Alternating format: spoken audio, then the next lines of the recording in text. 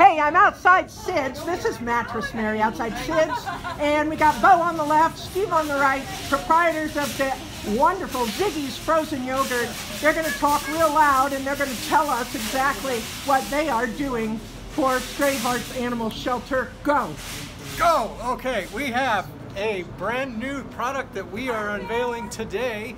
It is the Doggy Booty Wiggle Wag frozen yogurt for dogs and cats. Cats can eat it too. And uh, we are selling these. These are $5. These ones down here are $3.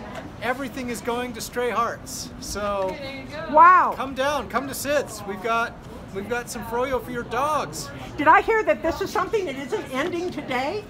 It will be going on. Uh, we will have these for sale at Ziggy's from here on out, starting tomorrow.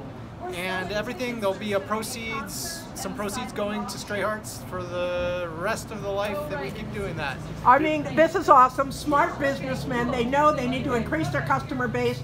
So, so much for the two-legged people. Let's get those four-leggers involved. That's brilliant. And thank you so much. Stray Hearts, I know thanks you for what you're doing. And I, per, for one, love your frozen yogurt. And down here we have, uh, this is the world famous Ziggy.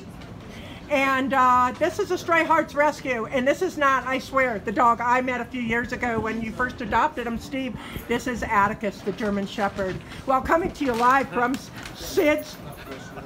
This is Mattress Mary. We'll see you all tonight at Dog Days at the KTAOS Solar Center. Dog Bye-bye. days!